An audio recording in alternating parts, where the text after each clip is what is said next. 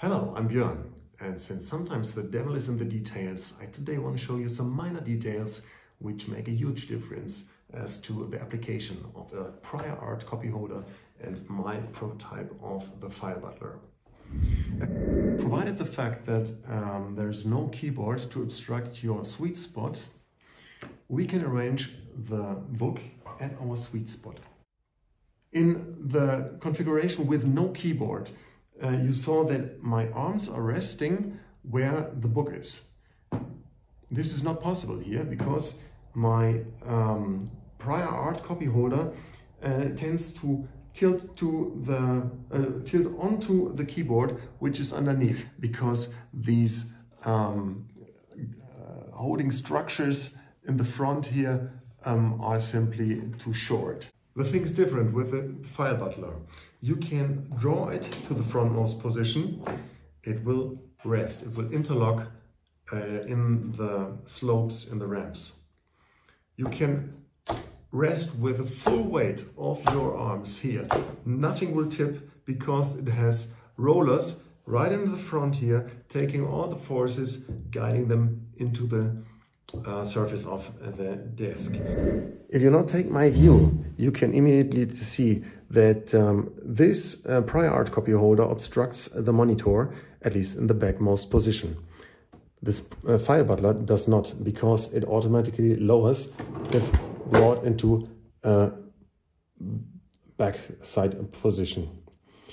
Now, bringing both in the front position, what you also see is that um, this doesn't even change a thing because um, this copy holder, which is arranged at an even steeper angle, does not obstruct the um, side to the monitor because um, this um, edge is lower than uh, the edge of this non-moving base part of the prior art copy holder. So uh, you might see the taskbar of the operating system on the screen. However, it is kind of hidden between, uh, behind this uh, transparent base part. Let's take a brief look at what options the prior art um, provides. We have two screws here and of course two screws at the opposite side. What these do is facilitating raising, permanently raising the height of the file support. And on the other hand, they provide a small range of angles in which you can arrange the file support with respect to the desktop. Parallel configuration in the backmost position, maximum inclination in the frontmost position. Lift, shift, and apply a second way of lowering the file support into a lower angle, lift, shift and lower the file support to a maximum angle in which it doesn't uh, amend the angle at all.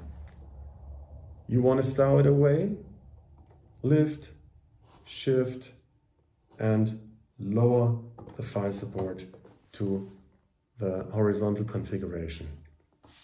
A height adjustable file stop facilitates using the file butler with different sizes of files and paperwork. The magnetic stop of the prior art copy holder prevents a really ergonomic and one-handed no-brainer shifting of the position. So right now I'm handling the whole thing without using the guide rail. Give it a push, reveal the keyboard, make your inputs. You can draw it back in order to keep on reading. You can also uh, give it a push with one hand, do some inputs or use the mouse and even draw it with only one hand back into position. Interlocking the position of the prior art copy holder is not possible. It rests on anti-slip feet, which might do the job when uh, unpacked. However, in case the surface of the um, desk will um, get dusty. And dirty, um, it is really easy to um, shift this. And this will not do the job anymore.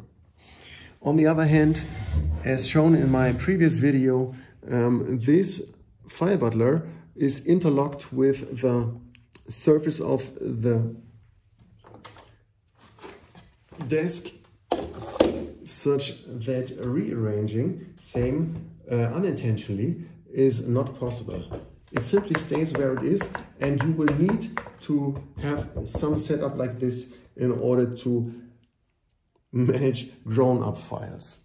So I hope you uh, enjoyed the presentation and um, you will uh, request further information in order, in order to make our uh, cooperation happen.